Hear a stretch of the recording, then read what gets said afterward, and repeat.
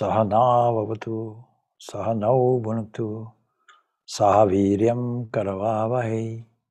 तेजस्विनावतीतं मस्तु मा विद्विषावहै ॐ शान्ति शान्ति शान्तिः May that one protect us both. May that one nourish us. May we work together with great energy and strength and vigor. May our study be illumined. May we not unnecessarily cover with each other. Peace, peace, peace be unto all. So we are commencing again the study of the Kathopanishad. And we left off at the second part that had studied. Two parts are there, the Kathopanishad. And the second part is uh, fairly short. Each part has six sections. And so we're really on the very last of it. And there is a sequence to the whole presentation. Uh, so we are approaching the second, or at least we are engaged in the second part and the second section of it. So it's appropriate for those people joining the first time to give a review of what the Kathopanishad is all about. And I might just give an overview of it so that we can get up to speed. We haven't met for some time.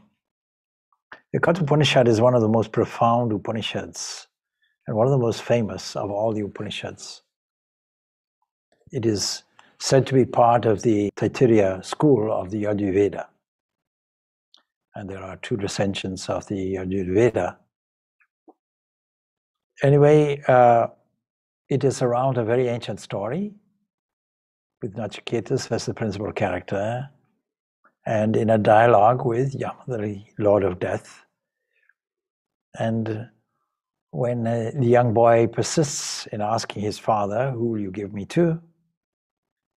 And then his father tells him that I'll give you to death.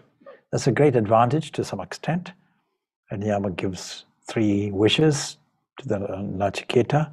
But the first wish, wish is, Let me return actually to my father because he spoke in anger, let me return alive. And the second is a request tell me how my good works may not be exhausted in an afterlife. In other words, tell me all about a postmortem condition where rewards can come to fruition. And the third is the most important one.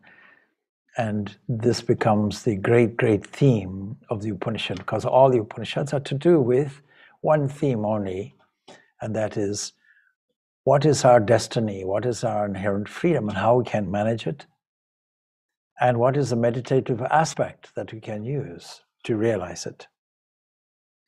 And so that becomes the theme tell me the way to conquer. Being born again, how can we become immortal? Punar Mrityu, how can we be a conqueror of death? And so the Upanishad, as I mentioned, consists of two chapters, and each one has uh, three valis or sections to it. And we do understand also that the Kathopanishad is a little later since it has many chapters or many themes in common with the Srimad Bhagavad Gita.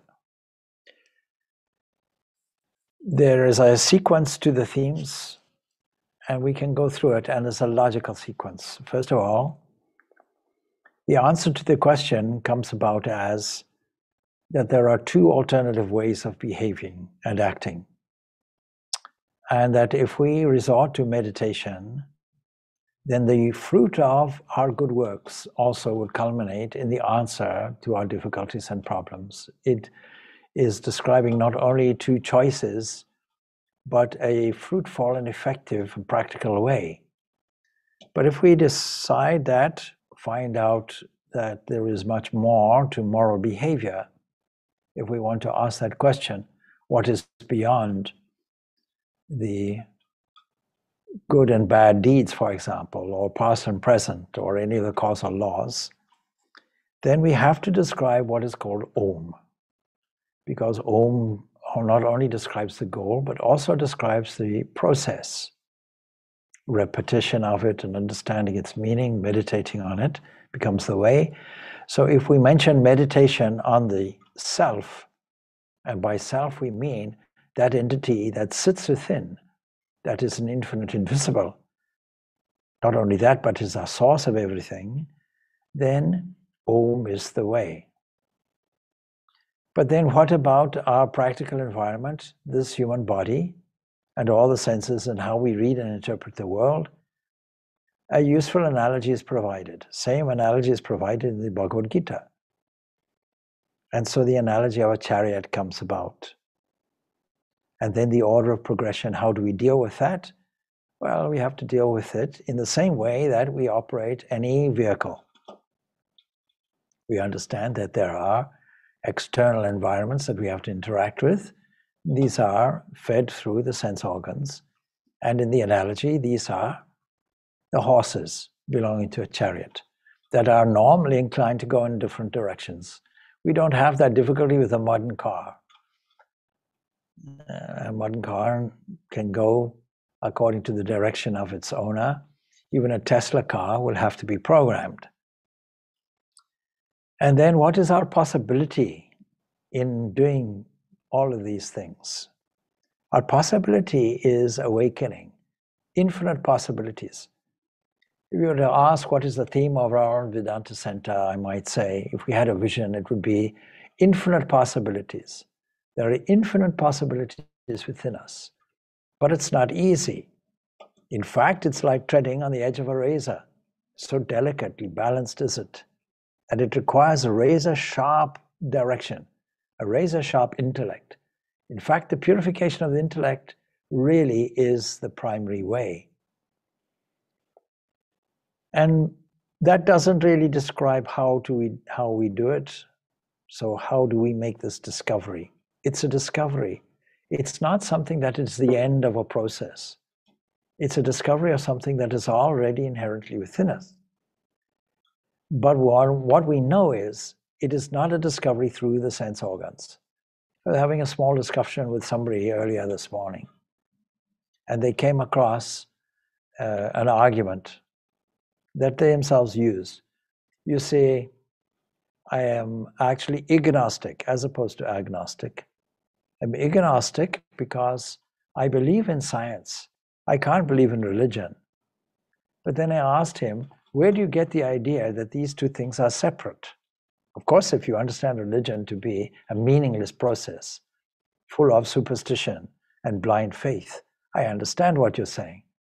But is science a better option since it's a different field and science relies entirely on observational evidence, in other words, the senses. But the self cannot be discovered through the sense organs. This the Katha also makes very clear. Why is it? It's because it's extremely subtle. But we can visualize it as being in the cave of the heart. And there's a story about an incarnation of course, the one that incarnates is always Vishnu in the Hindu Trinity, the one that pervades everywhere. And so there's the story of the Vamana, the small dwarf. Bali becomes extremely powerful and he rules all three kingdoms. Three kingdoms means he rules the whole of existence.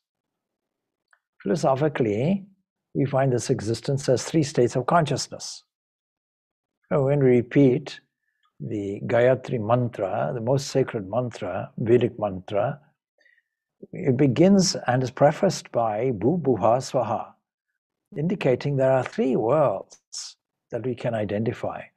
The familiar world of this observational evidence called the earth, and then there is that which is beyond, completely beyond our scope, and there is an intermediate world in between, acknowledging that when you summarize everything in this way, you've now gone through the scope of this Om, and the inference is there's something even beyond that.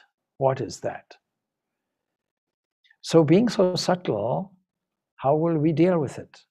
And the story of the dwarf, that is the Vamana, because the dwarf is also mentioned as a description of something that is very small, very subtle. The size of a thumb is how it's mentioned. Visualized for meditation purposes only.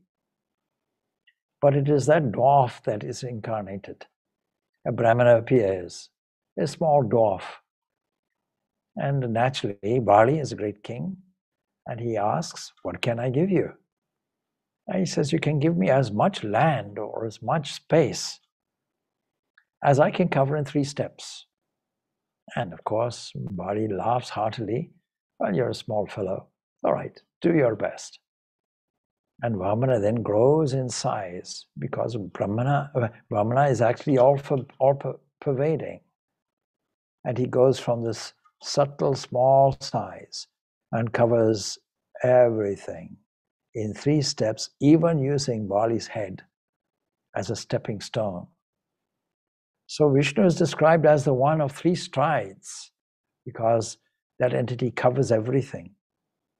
What does it mean? It means for us that we can't say that the self is exclusively inside, exclusively a goal, is exclusively transcendent.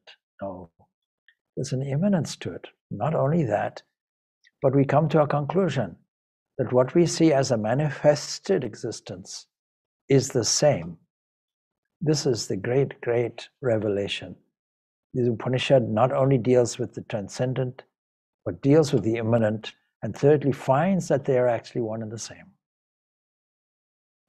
And then, in the section we were dealing with last time, we have this beautiful analogy of the body as a city, a divine city, no doubt, belonging to one who is not born at all, and whose consciousness is unflickering, giving us another image so that whenever we encounter some person, we can bring this image out and we can also sit and meditate on it. What is this body?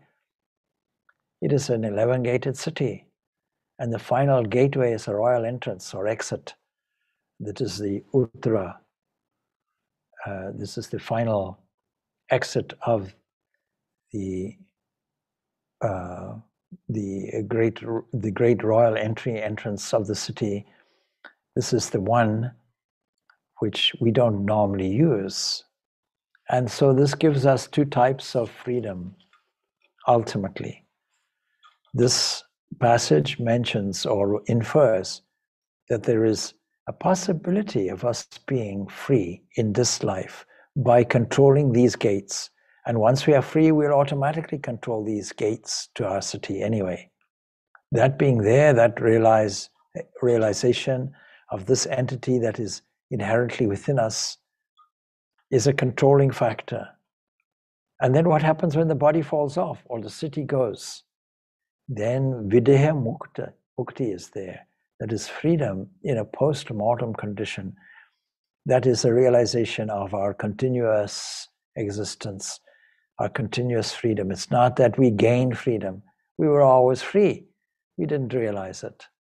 We thought we were bound. We have the instinct that we are bound only because we thought we were the city. We thought we were the body. And so, just so we don't make any misunderstanding, a small boy yesterday asked a very astute question, hearing about this Atman from his mother or from his parents, said, So if I reach inside, will I catch it? Or, you know, what does it look like inside? These kinds of questions are there. And they're not immature questions. They're, these are questions from mature minds also. So, in case you think that it is entrapped in any way, that it is caged in any way, that it needs to be released and freed, that it is a prisoner, the Kathopanishad is very, very clear and gives us then an idea that is really taken from the Hamsavati mantra. The seer is Vamdeva, and it's a prayer to the sun who illumines the world and dispels the darkness of people. This Hamsa is seen to be a swan, naturally, literally, but it's seen to be just uh, reminiscent and symbolic of that which gives light and that which gives life, that which travels across the sky seemingly like a great chariot and illumines the whole world, dispels the darkness of people. So, this again, analogy is used, symbolism is used, but the meaning is no, this entity is found everywhere. Once you find it in yourself, you'll also find it everywhere.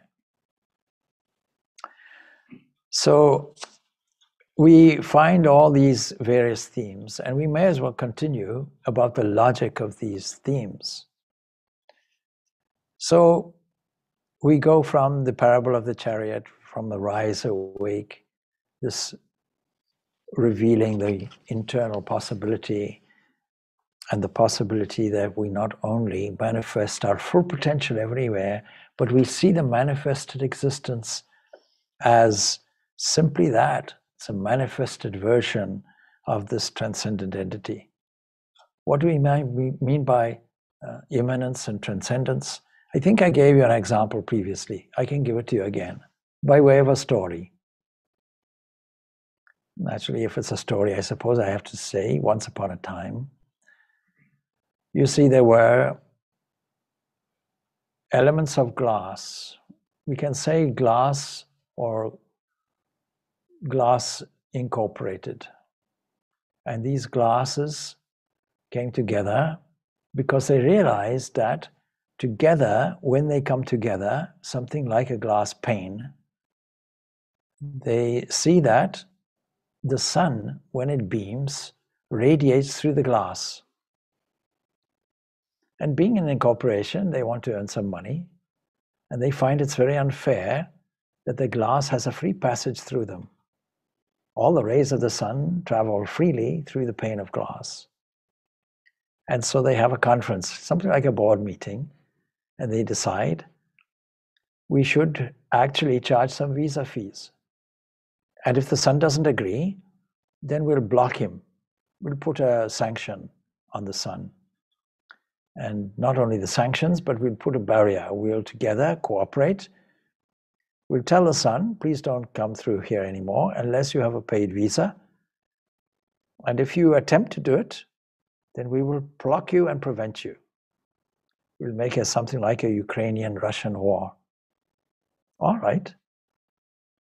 So they passed the resolution and relayed the message to the sun, but the sun didn't care. The sun still shone through, and the shards of grass jostled together and shattered themselves. Instead of being a single pane, they destroyed themselves, and still the sun shone. When the sun shone through the glass, it was called immanence. And when the glass itself was destroyed and the sun still shone, this was called transcendence. Nothing really happened. Only the local conditions changed. The sun shining through still shone, and the shards of glass destroying themselves. Even so, the sun still shone. So it is how we view the world that creates what we call immanence and transcendence. It is not that there was any change in the essential entity. And so the eternal Lord abides within the cave of the heart, described here as the size of a thumb, something like the dwarf that challenged and actually rules the entire world. And then, supposing then the city goes away and we haven't realized, we haven't got this idea, not even in this life of Jivan Mukti, nor in the post condition when the city is gone, we still didn't discover the nature of our own freedom. What then? This Upanishad, and we haven't come to the section that describes the process of rebirth. Because rebirth is simply that if you impose a condition, the condition is temporal based, spatially based, and also causally based. You can't get away from this causal law. The causal law, of course, we call karma, a much misunderstood concept. And so, what happens has to be described. There's a logical sequence of it. And then, as I mentioned, the question of the self being immanent and transcendent is being discussed. And finally, we come to a concept that we still find also in the Bhagavad Gita, and that is that the world tree, or how will you describe this world of experience, this manifested version of it? You will describe it as something like a tree. But the tree is rooted in this self. And by now we understand the interchangeability of terms Atman self, Brahman. These are synonymous terms, interchangeable. And this world tree, when you describe it in these universal terms, you also have to use this term Brahman. This world tree is rooted in Brahman.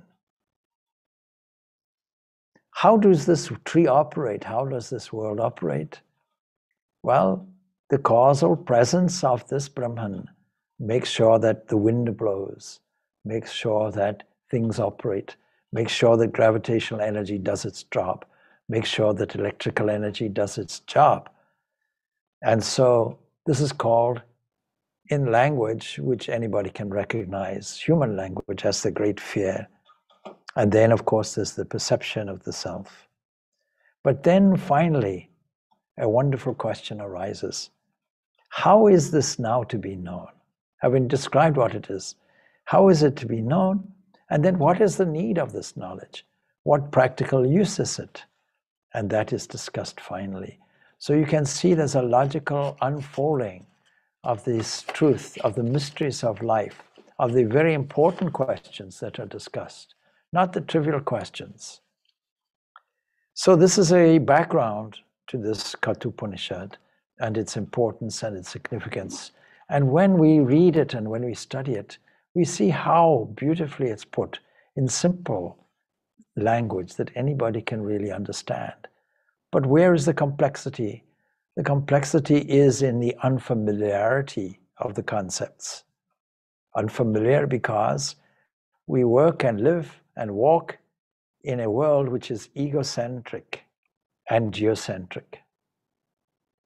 And to get away from it is difficult. When the world is egocentric, it means the world is body centric. And when the world is geocentric, it is the environment centered. And we find it difficult to even to get away from the language of things. If you look into the night sky, we have a habit of saying up we have a habit of saying down. But when we get out of the Earth's environment, we find this up and down has no meaning. The great cosmological principle will state that things are homogeneous everywhere, isometric everywhere. Or it seems to be like that. It's assumed to be like that. One discovery is throwing cold water on that uh, now probably well worn theory because we find that way, way out, it is not like that. It is a little clumpy. Anyway, that aside, the idea really is that we are not the center of the entire universe, no matter how much we think we are. But when we try to measure it or make sense of it, yes, for practical purposes, we can put it that way. And for passport purposes, we can issue our egocentric position but it has no more practical value. Indeed, if we stick to this position, we come to grief. Because the central difficulty that we have is the difficulty of pain, suffering, and how to deal with various vicissitudes of life. And so, this is not just theoretical philosophy, it is not just coming up with a hypothesis. It is coming up with something that is a rational position, but also something that is to do with your experiential experience. How do you experience life in reality at the greatest depth, not on the surface? So, in the uh, Satapatha Brahmana, Triune Agni, for example, is described. It's identified with the sun and with the air. And so we have to take this on board, all these ancient references, when we deal with the various stanzas. As the moving sun, he lives in the heavens, he pervades all and dwells in the interspace. And as fire, we have to take this as Agni Brahman. He resides on the earth. And as Soma, which we also take as Brahman, he stays in a jar. And so we are using the ancient ritualistic concepts and universalizing these, bringing a new meaning. He lives among men, yes. He lives in men and he lives among men. He lives among the deities, among the senses, but also deities meaning the fundamental expressive waves that are manifested as this universe. In order to understand this, we also have to understand how we go backwards to discover this internal entity, how we go into more generalized, more subtle, more vast, more truthful areas. And that is really the process. Collectively, it is called the process of discrimination, viveka, looking at things more closely, more analytically, and experiencing it, going back, as it were, in meditation. Last week, weekend, we were busy in the meditation workshop. And there, from different points of view, it was described how the meditation process is a devolutionary process. Evolution being the unfolding of what was there. Devolution meaning folding it back up again until we get to the source, making sure that we understand the subject and the object merge to become the same thing. And at that point, we call this dhyana, meditation. When one single idea is present, we call this meditation. But the process going backwards, we can also call the process of meditation as well. And so just to refresh your memory, the language expressed as, in a pictorial way, familiar to those people who first understood this or studied this, but also familiar to us once we know these ancient concepts and put them in pictorial, graphic forms. It requires a poetic mind. That's the point. We can say the sun shines. Maybe it's to do with fusion Maybe it's to do with thermodynamic laws. Whatever it is, we can describe the sun as basically hydrogen converting itself into helium after a long time expressing itself through convection and what have you, and then shining, and we feel the warmth of it, and we understand that life is there because of it. But when you delve into further, the question comes about what is that entity that lights the sun itself, that makes these things actively involved? And then to rally around our poetic creative side, why don't we actually think that the sun is the same entity being lit from within that travels across the sun like a chariot? And that we greet again tomorrow something like a cosmic swan floating, but with the central understanding and the main understanding that the supreme energy that we may call all these different forms is exactly identified with this entity called Brahman, and the same Brahman in ourselves is called Atman, the very self. Brahman or Atman. And so, any verse that entertains these poetic ideas really affirms only one thing that the whole universe is not different from the Supreme Brahman. And we can bring this into our practical life and questioning. When will we realize this highest? I haven't time for spiritual life because I'm engaged so much in my activities, in working sometimes 16 hours a day for you know entrepreneurs no time for family life and so on these are the practical complaints that many people have well you made an error you drew a line between spirituality and the deeper things of life and this regular working waking existence what right did you have to do that what foundation is there to justify it? Like a line on the water, is Ramakrishna's description. You put a line on the water, it looks like a line, it looks like a separation. Soon it'll disappear. It's not really there. So we have to get used to this. Even Ramanuja will state, Itat sarvam aparichina satya rupa brahmatmakam that actually the whole universe is not really different from the Supreme Brahman. Udram pranam unyayatya apanam pratyag ashuti ashuti madhye vamanam ashinam vishve deva upasati. You see, we think that life is to do with breath. If you observe somebody in the process of dying, and you ask, What is life? It's a great question. Even the great Schrodinger Uh, gave a series of questions around, a series of talks, I should say, around this question What is life?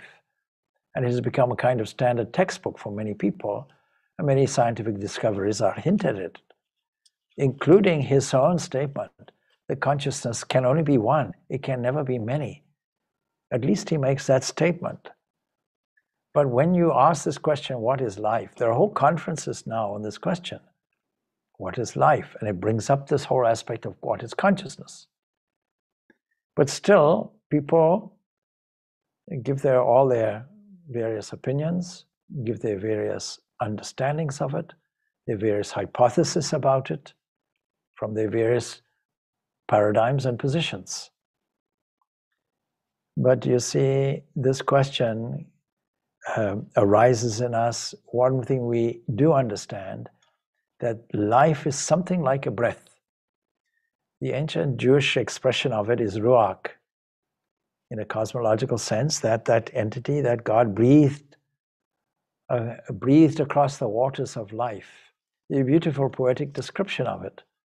But some people take the breath aspect and forget about the supreme aspect that does the breathing. And so it's quite clear that life is not independent, independently inserted and withdrawn from us. Simply a phenomena, inexplicable. And so this passage will tell us that the breath it doesn't operate independently and can be identified in different sections. See, originally this term prana actually meant breath. It was used for the supreme being. And in the early uh, Upanishads, we can see it described as some vital powers to do with speech, to do with breath, the eye, the ear, and so on. We now have this mentioned in a different context.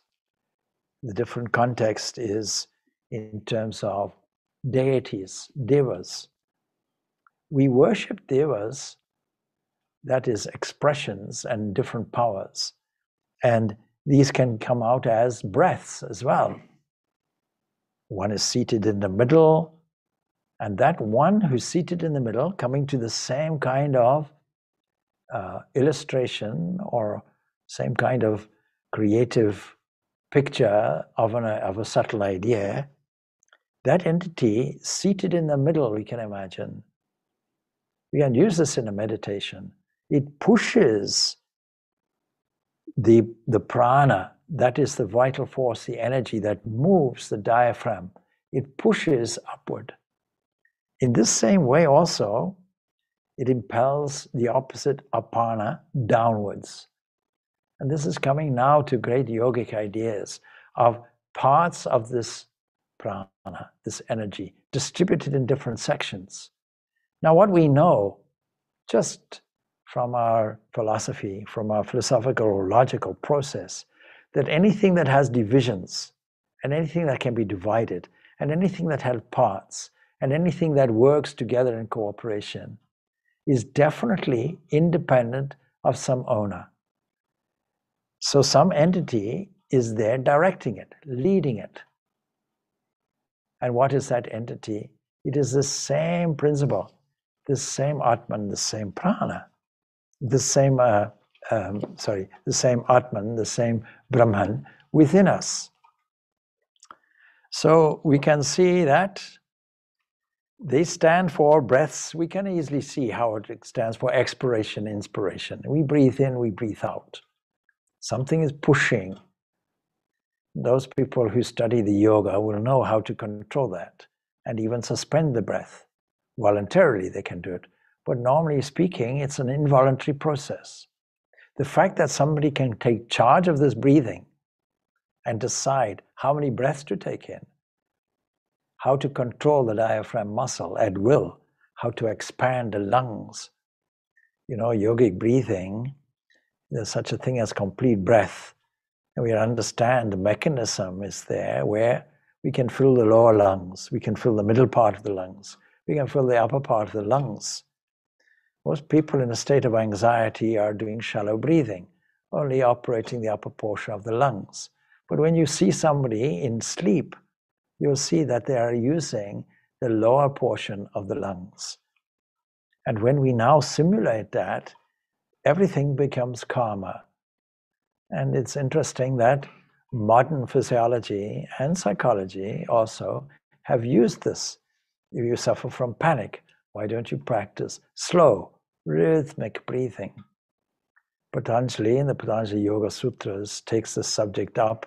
If you want to control through lack of concentration. Lack of concentration means the normal energy that we used is scattered all over the place, giving us a sense of, in its extreme, panic, grief, irregular breathing, shaking. All these are symptoms of lack of concentration. So, how will we regulate it? Naturally, we use the counterpoint of it. Why don't you embrace regular breathing? Why don't you calm the mind? And it comes back to why don't you employ a concentrated way of thinking, a more rhythmic, regular way of thinking?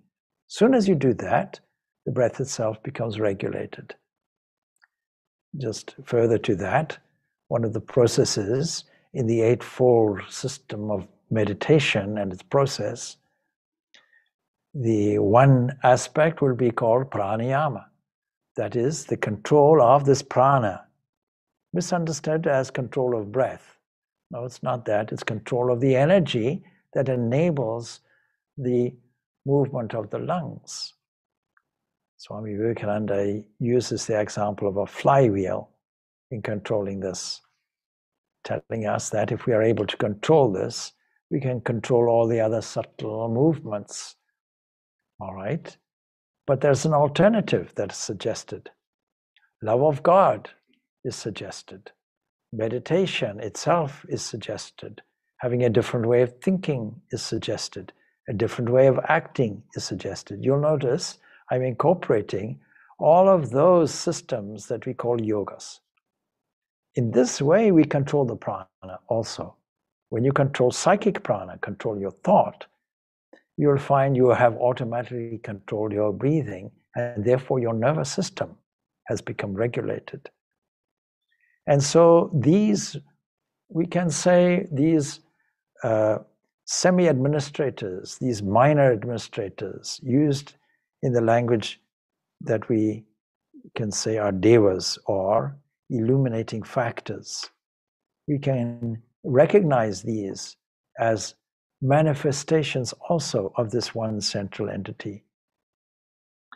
And so, worthy to be served, Vananiyam Sambha Janiyam, says Shankaracharya, that these entities, Vishve Deva, are all considered to be literally all the deities.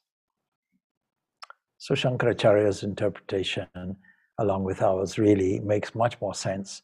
These are not external entities. These are actually within us anyway. These are the sense organs. These are the vital powers, and which are subject to the person within. And who is that person within? It is the Lord whom they are worshipping by their uninterrupted activity. Let us just consider the meditative value of this. It's a beautiful, beautiful concept. Why is breath taking place? Why are cells being re- repaired? Why is the so called normal physical activity taking place that we normally take for granted? When we understand the complexity going on and the various concepts around this central concept of a city operating with small administrators going on that we may call devas. These are the sense organs, and we can't divorce them from the mind. They are part and parcel of it.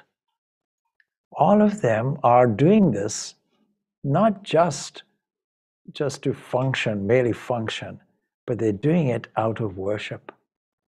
What a beautiful concept this is. They're doing it in order to honor the central Lord of the universe who sits within. And because of his presence, they are performing these functions as a worship. What a beautiful, beautiful concept, and what a beautiful theme for meditation we can use. Asyam Vishram Samana Samanasya Sharia yastasya dehinaha dehad vimocha manasya kim atra palishishyate and then the normal statement we end up are now useful used to itadvetat. This is that. So when the embodied self or seemingly embodied self that dwells within the body slips off and is released from the body, the question then remains what is there? What remains after all of that? And the answer comes anyway this is that. Tadvetat. It's a very central question. What remains? What remains is the universal soul. What remains is that Brahman. That's all that remains. So, this is a very profound answer to the central question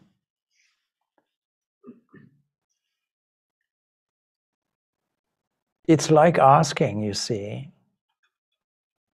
when a broadcasting company broadcasting a radio broadcast, when that broadcasting station continues, then what happens to it when the transistor dies or gets turned off?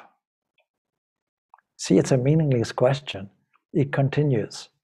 What happens to the sun when the shards of glass destroy themselves? It continues. It has no effect.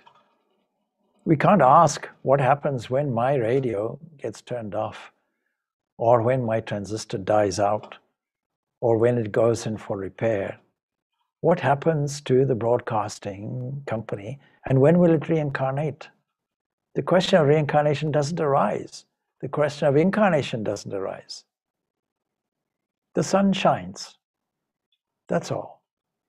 We can't ask when will we be born again? What is its karma?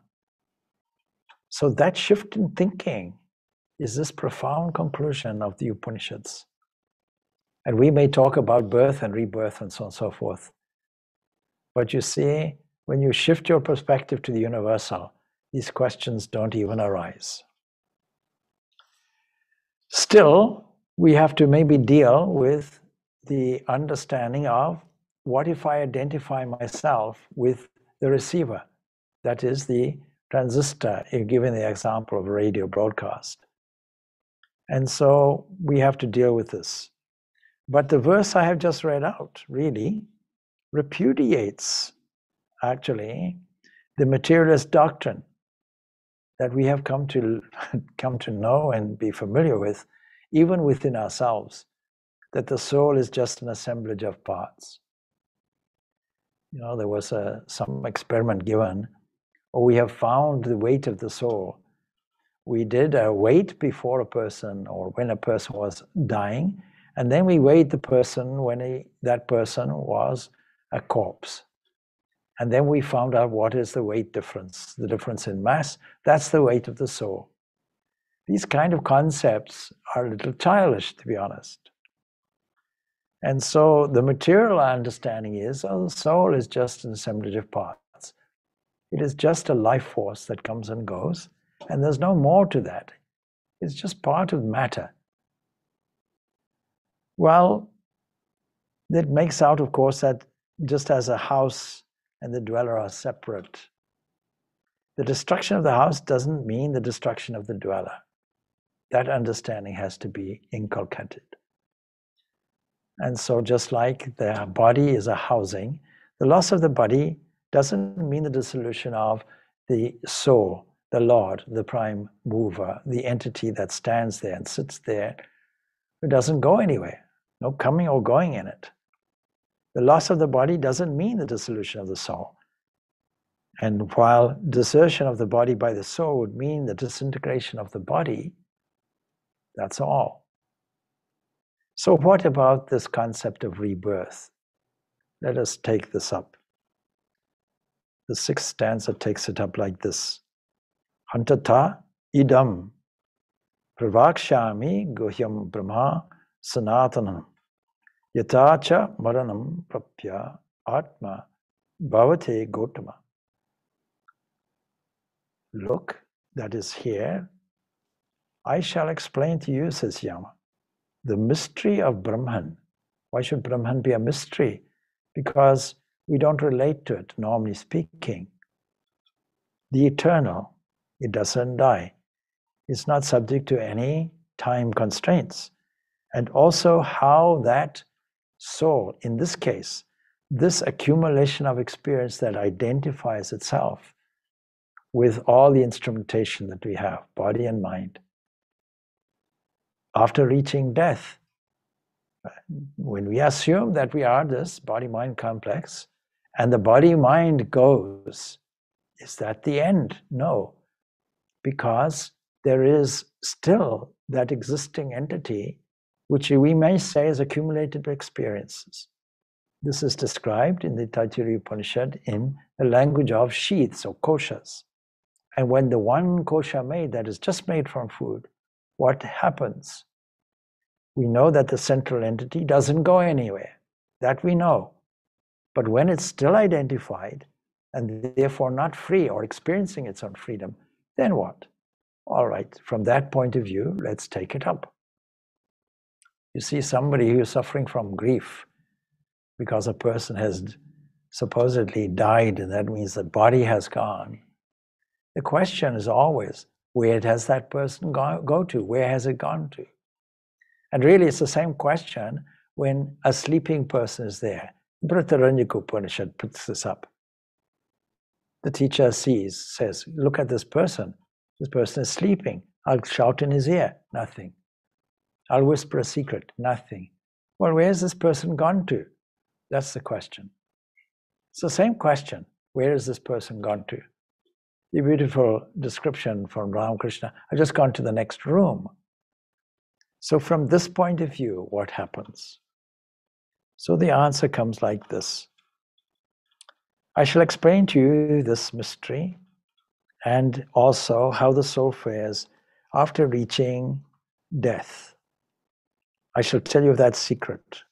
So it's a secret of not uh, two things. It's a secret of the eternal Brahman that never goes anywhere, and also how this self fares after death, we know it doesn't go anywhere. But some souls, that is, soul as opposed to spirit. Now we have to make this distinction because there's a huge confusion about it. Even amongst Hindus familiar with the term jiva and atman, they say they confuse these terms. Is the atman jiva? Is the jiva atman? No. When the atman, the atman unencumbered with anything, not covered up, when the Atman is there and remains there, is called Atman. But when it is associated with all the cumulative experiences that go through the manifested, conditioned aspect, then we call this jiva, soul. Jiva means something that is alive, something is living, something that is distinct from other jivas. All right. What becomes of that is the question. We can call this the lower self and the higher self. And the lower self is this higher self in association, that's all. It is this higher self that gives the life, that lends things, that makes things look animated. And when we see the animated thing, we call this soul or jiva. Well, some souls enter the womb for acquiring bodies, and others follow the motionless in accordance with their work and in conformity with their knowledge. So, therefore, it is the experience, it is the causal law that comes in to play. So, the law of karma, that we are born to our deeds, this is assumed. Shankaracharya puts it like that, exactly as I have said it.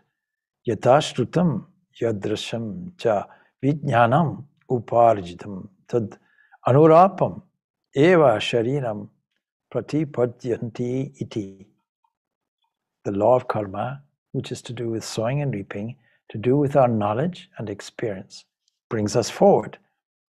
That person who is awake in those that sleep, shaping desire after desire, that indeed is the pure. Now we have to bring in the simulation of death that occurs every night. That is Brahman. That indeed is called the immortal. In it, all the worlds rest and no one ever goes beyond it. And then, Tadivat uh, etadvaitat. This truly is that. सो यशा सुप्तेषु जागर्ति कामम कामम पुरुषो निर्मी मण तदेवा शुक्रम तत्ब्रह्मा तदेव व्रतम उच्यते तस्मिन् लोका श्रीतः सर्वे तद् उ नैत्यति कश्चन the next thing is it speaks, this Upanishad speaks of the secret Brahman about which it was promised, I shall tell. This happen. So now we come to the other section. What about the Brahman? What about the actual self, not the apparent self? That's a good language to use. The apparent self, and there is the actual self. The actual self we can call Brahman. But we can also call it by different names. Atman, we've also described.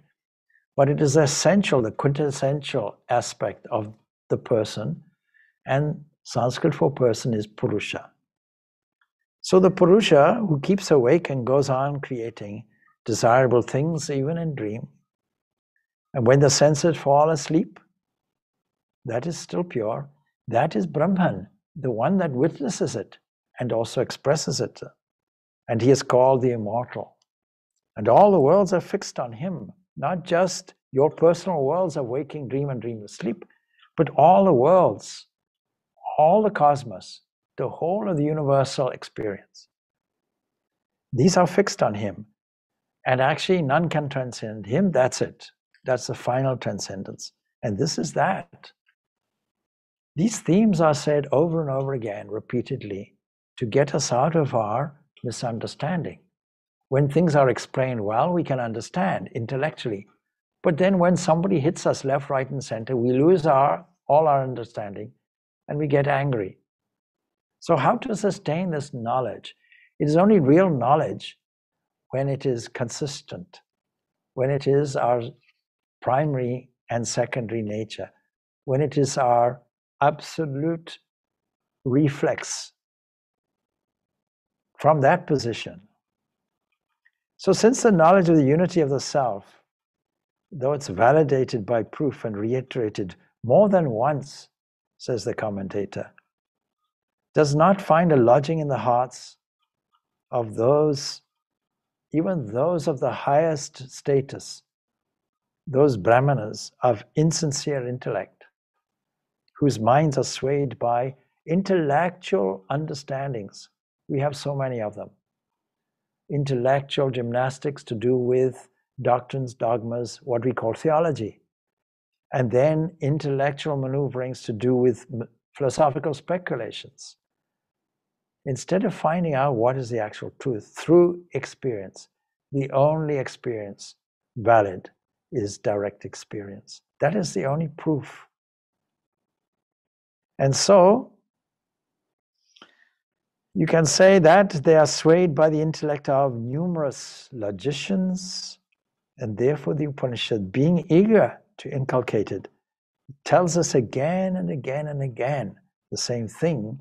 And so it says, just as fire, though one, having entered the world, assumes separate forms in respect of different shapes fire, light, luminosity, the sun, lightning, the fire of the hearth, the spark of electricity, we can say in modern times.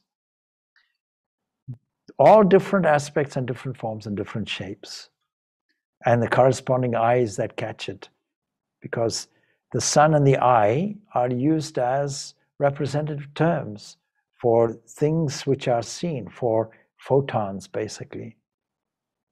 Similarly, the self inside all beings, though one, assumes a form in respect of each shape, yet it is outside. We can't divorce the shapes from that self.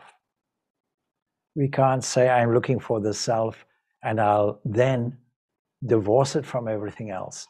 That is not really discrimination. Discrimination incorporates everything also. So it is both inside, it is both outside. It assumes this is what we call this immanence and this transcendence. As fire is one, entering the world becomes varied in shape. Agnya yataito bhuvanam pravishtam rupam rupam pratirupam uh, bhabava. Ekashtata sarva bhutanta atma rupam rupam prati rupa bahischa. So, as I say, as fire, which is one entering this world, becomes varied in shape according to the object it burns, it simply takes the shape, or water takes the shape of the vessel, even. So, also that one self within all beings becomes varied or seems to become varied, really.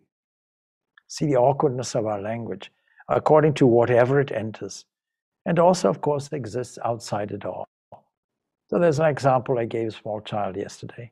I took a cup and I turned it upside down. I said, What's inside the cup? He was astute enough to say, Air. Yes. What's outside the cup? Air.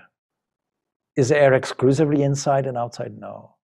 And when I take the cup off and look inside, what is there? Air. What was there? Air. So it's a good example. It's both inside and outside. When I see it inside and don't see it outside, I say inside. And when I see it outside and there's no cup whatsoever, there's no mention of inside or outside. The terms don't apply. So the Rig Veda, in connection with this, where Indra in his conflict with the demons, was an ongoing conflict taken in mythology, is said to have assumed many forms through his magic powers, becoming the counterform of every form. That is the idea. And so Rupam, Rupam, Prati Rupam, uh, Babuva, Indro, Mayabihi, Pururupa, Irati, both inside and outside. While the self assumes many forms, it's yet outside the manifested world in its own unmodified nature. Svena avikritena rupena akashavat. That's what Shankaracharya is telling us. And so the verse teaches us these wonderful concepts that I've mentioned, also giving you the example of the sheet of glass that ineffectively tried to stop the sun from shining. Then the idea of air comes up, the example I've given. As air, which is one entering the world, becomes varied in shape according to the object it enters, so also the one self within all beings becomes varied according to whatever it enters, and also exists outside them all. Why not use one example? Why so many examples are used? See, as air through one having tamed, and so on and so forth. By using all these similes of fire, of air, the teacher here, in this case Yama, tries to show Nachiketa the subtle quality of the great self, who, although one in form is like air and fire, yet assumes different shapes according to the form that in which it dwells. It is only by this repetition and these various examples that we catch some kind of glimpse of it, some kind of rudimentary understanding. And then how do we make it more real to us? Through the process of meditation, the process of really con- connecting with the idea so that it becomes a living reality for us. And so there's this, all this meditative aspect is provided by these multiple examples. And then another example, just as the sun then, the eye of the whole world is not defiled by the external faults seen by the eye. Even so, the one within all beings is not tainted by the sorrow of the world. He is outside the world. If the world decides to explode itself through a nuclear war, you can't ask why the sun was responsible for this. You find a typical theological question so much misery in the world why did God make such a miserable world? And why is He such a ruthless God to make it? And why doesn't He help me? See, these are immature questions, a wrong understanding of these things. And so the text goes on, and I'll finish off soon on this, just, just as the sun and so on is transcendent and so on. You can't blame anything else. And then eternal peace is for those and not for others who are using this kind of discrimination and who realize in their hearts Him who, being one, the controller and the inner self of all, makes a single form multifarious. So, this is now approaching section three, where we come to a conclusion. We'll come to this conclusion next week. So, the one eternal amid the transient, the conscious amid the conscious, the one amid the many, who grants their desires to the wise who perceive him as abiding, abiding in the soul. To them is eternal peace, and to no others. What is the utility of all of this? Don't you want eternal peace? Most people say yes. So, don't you want eternal consistency, contentment, happiness, and peace? Most people will answer yes, and that becomes the utility of all of this. We'll leave it off for there. We'll pick it up then next week. We'll take it really from the 12th stanza, which is the one I just mentioned, and then we'll see where that takes us. The other sections this will lead us eventually to the final part for the, the actual second part, the third section of it. And we use the example of this great cosmic tree, a wonderful description. And that section actually will go on to ask us the final question about what is the final utility of this.